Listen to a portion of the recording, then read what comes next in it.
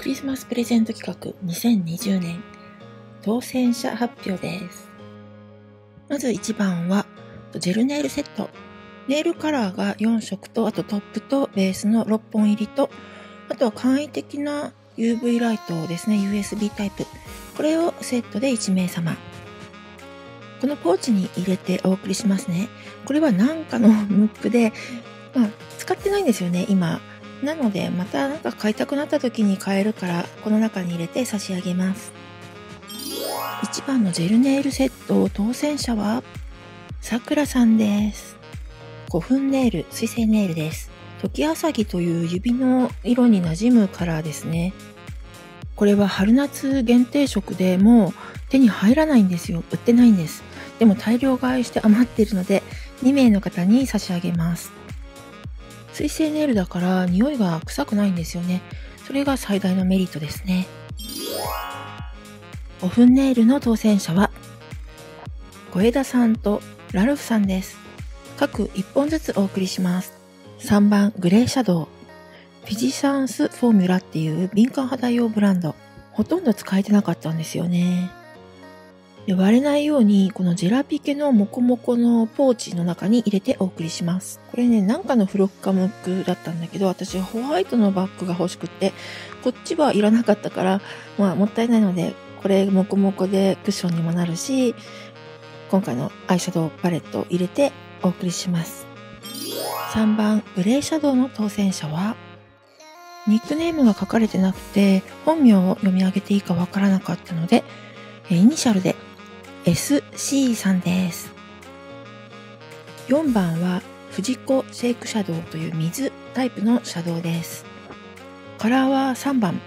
基本はピンクなんだけど、ちょっとだけオレンジがかっていたので、バリバリブルベの私にはちょっとね、浮いてしまったんですよね。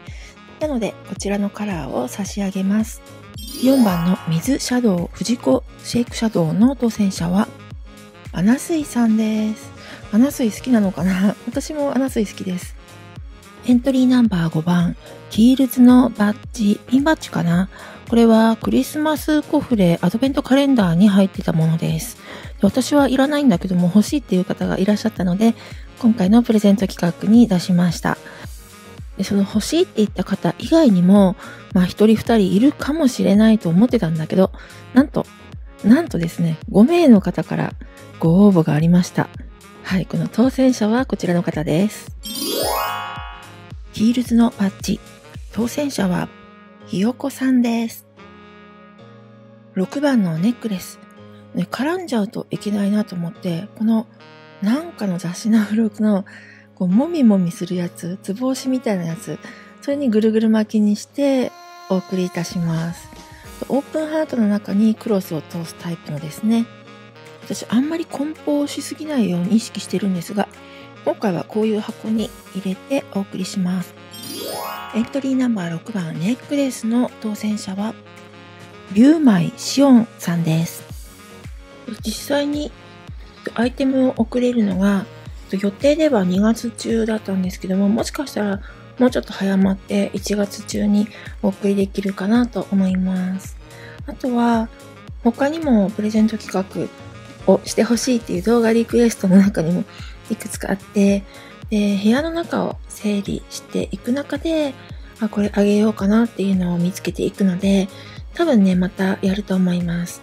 で、どのチャンネルでやるかまだわかんないんだけども、このサブちゃんか、他のサブちゃんか、またメインチャンネルか、あ、下の概要欄に、とチャンネルの URL を貼っておきますので、それをご覧いただいて、チェックしていただければと思います。